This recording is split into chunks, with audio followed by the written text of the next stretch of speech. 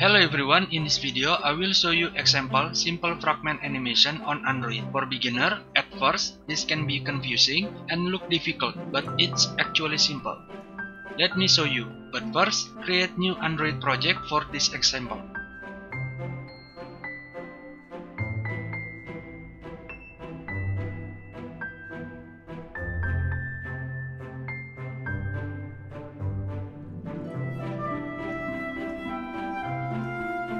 Next, create two fragment. I name it home fragment and detail fragment, but you can choose your own name.